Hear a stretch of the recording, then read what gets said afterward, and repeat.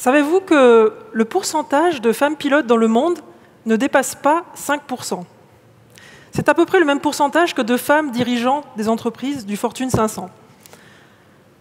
En 1999, Caroline Aigle est devenue la première femme pilote de chasse en France, à peu près 85 ans après l'existence de ce métier.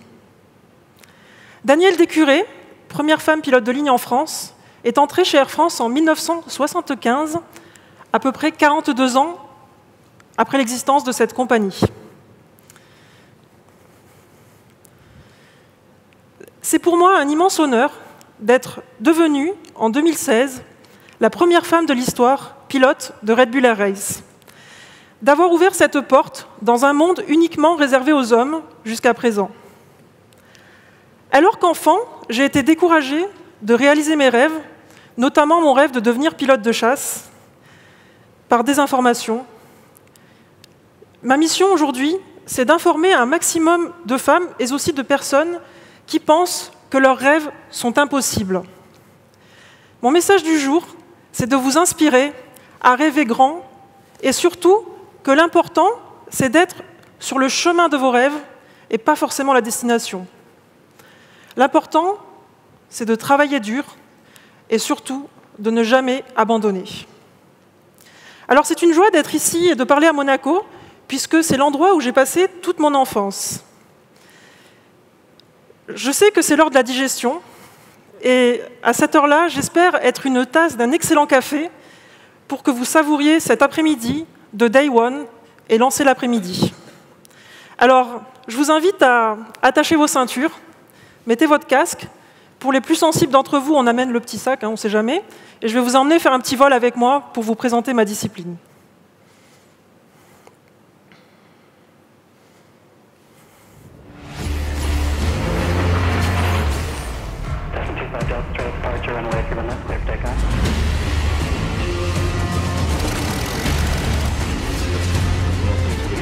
Ouais. Par contre, j'ai pas 15 minutes, j'ai que 8 minutes. 他们打下去八角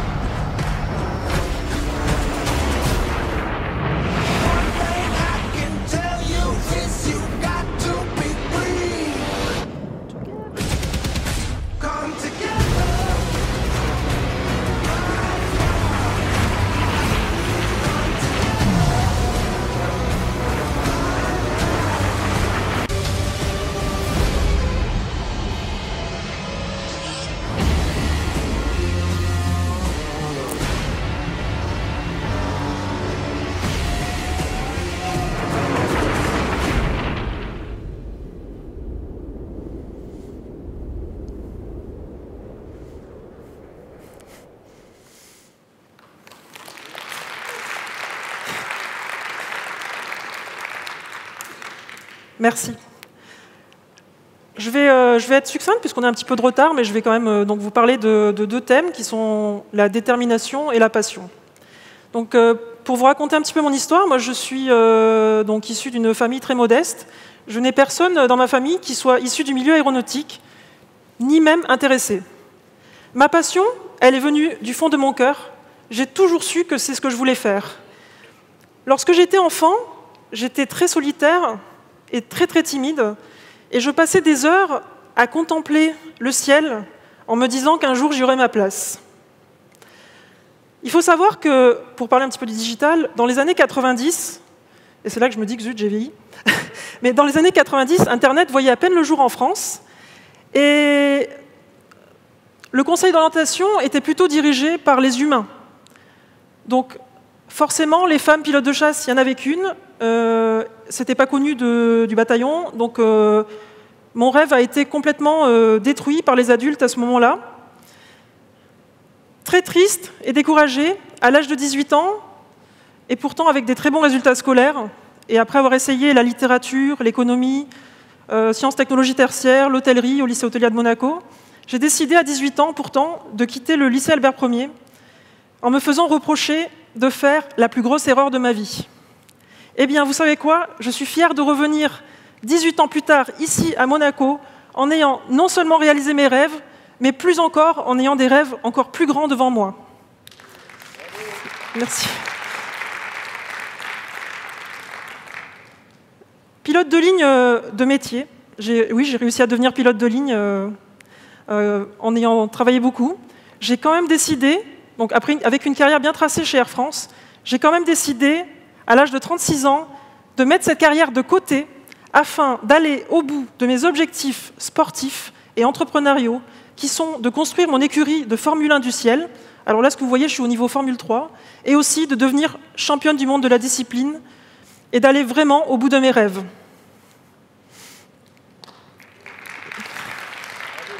Merci. J'aime beaucoup la, citation, l'extrait du livre euh, dans l'alchimiste, écrit par Paolo Coelho, qui dit que une fois que vous êtes engagé dans le désert, vous ne pouvez pas revenir en arrière et vous n'avez qu'une chose à faire, c'est de vous préoccuper de la meilleure manière d'aller de l'avant et c'est pourquoi j'ai fait ça aujourd'hui. Alors je vais vous parler euh, de détermination, donc euh, par trois exemples de mon parcours. Donc cette citation que vous pouvez lire ici, elle est là pour euh, vous montrer à tous que vous pouvez aller vers vos rêves, il n'y a pas de problème. Par contre, le fait d'être simplement un rêveur, non, ça ne suffit pas. Encore faut-il savoir prendre des risques, écouter sa voix intérieure et aussi développer sa confiance en soi. Personnellement, parler en public, ça me fait super peur, mais du coup, pour moi, c'est un exercice fabuleux Premièrement, parce que je, suis vraiment heureuse de partager ce moment avec vous et de vous inspirer. Et deuxièmement, parce que c'est aussi une façon d'améliorer mon stress et mes compétences en compétition. Et euh, j'apprécie beaucoup euh, ces moments d'échange, même si pourtant ils me font peur. J'en retire toujours un bénéfice extraordinaire en partant. Merci. Alors sur cette photo que vous voyez là, savez-vous que je suis assise dans un Dassault Rafale et je viens juste de faire du combat aérien et de passer le mur du son. Car oui, je peux le dire, je suis supersonique. Ça, c'est l'instant, je me la pète. Mais pour euh, quelqu'un, euh, je veux dire une citoyenne lambda euh, comme moi, voler dans un rafale, c'est quelque chose d'impossible. Ce n'est pas réalisable, c'est pas quelque chose. On va pas chez Magic Box et on achète un vol en rafale. C'est pas comme ça que ça se passe.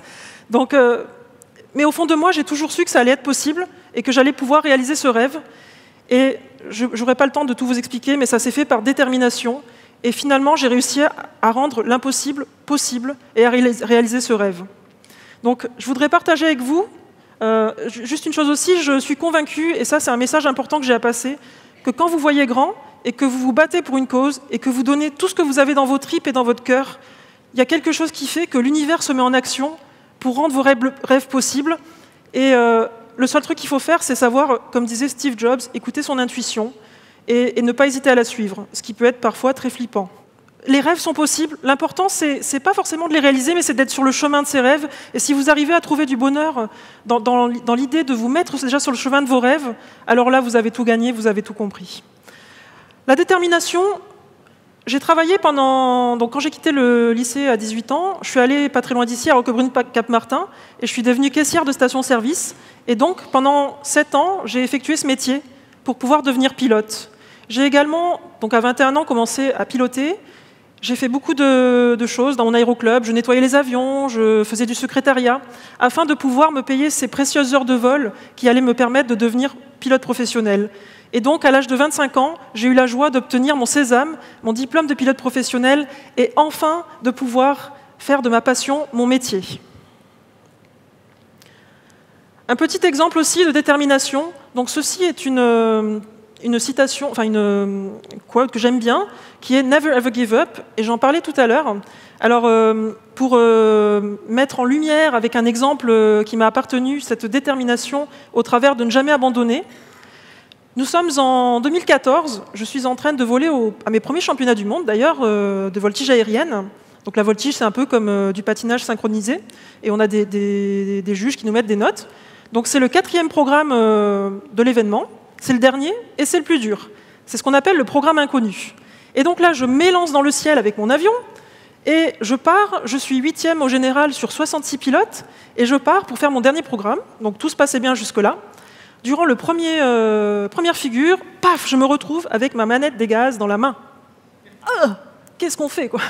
Et donc bah, là, je m'arrête, je me pose, bon, je rigole, mais c'était assez stressant. Je me pose dans l'urgence et je me retrouve donc à avoir une heure pour réparer mon avion, mais c'était impossible. Et là, je trouve personne qui me prête d'avion, forcément, c'est la compétition. Et je pars au fond du hangar, je me retrouve dans le canapé du fond du hangar et je m'effondre en larmes. Et là, le cavalier arrive sur son cheval blanc pour m'aider. Un pilote italien euh, vient me voir et me propose de me prêter son avion, qui n'avait rien à voir avec le mien. Donc, euh, quelques instants après, je me retrouve euh, assise dans cet avion inconnu, avec les coussins du canapé du fond hangar, assise complètement de travers, et je pars m'élancer pour un championnat du monde, rien que ça, avec cet avion nouveau.